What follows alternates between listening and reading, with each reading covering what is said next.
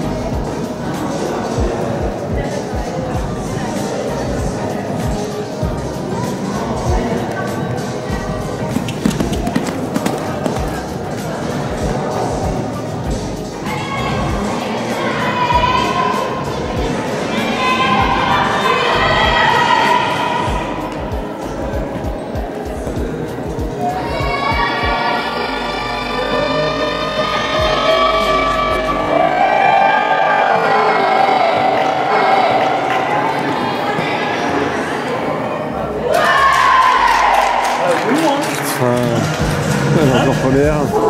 Elle a encore serré sévère.